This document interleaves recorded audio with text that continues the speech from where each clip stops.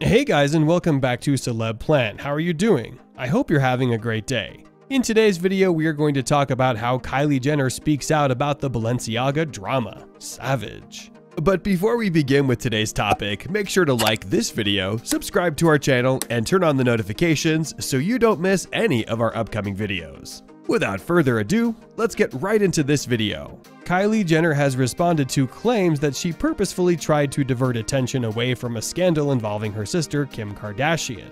If you missed it, Kim received backlash this week after issuing a statement in response to Balenciaga's recent controversial photo shoot.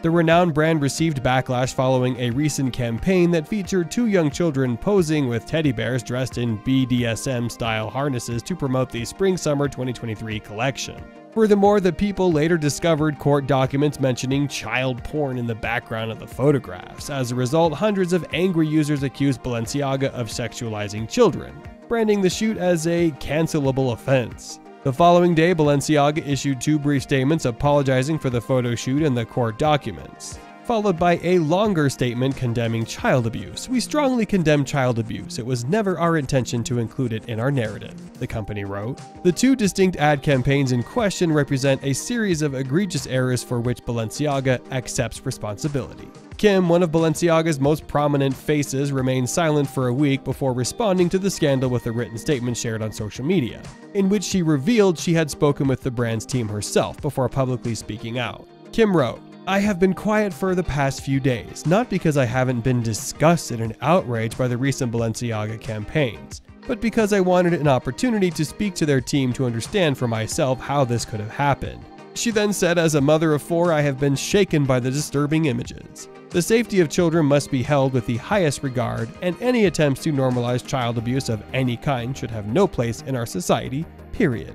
Kim then stated that she appreciated Balenciaga's apology and is reevaluating her relationship with the label. Many people were disappointed by her response because she did not commit to severing ties with the company. She said, I appreciate Balenciaga's removal of the campaigns and apology.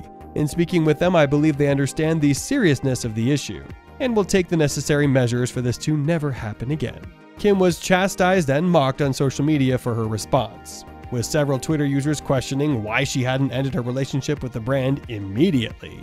As a result, when Kim's sister Kylie chose to upload some rare photos of her son just as uh, everything was blowing up online, some people questioned the timing.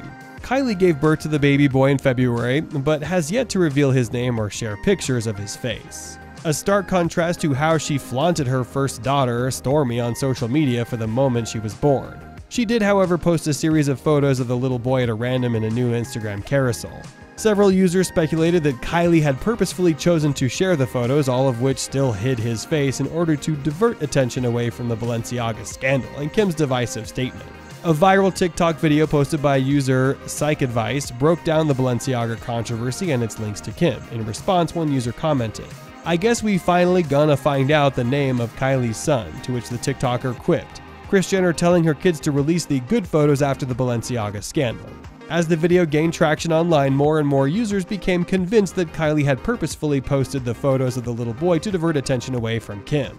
But before long, Kylie entered the conversation to refute the allegations, insisting that the photos were not a cover up. Commenting directly onto the TikTok video, Kylie wrote, Uh, why would I post my child to cover up for Balenciaga? This is why I don't do this, always something to say.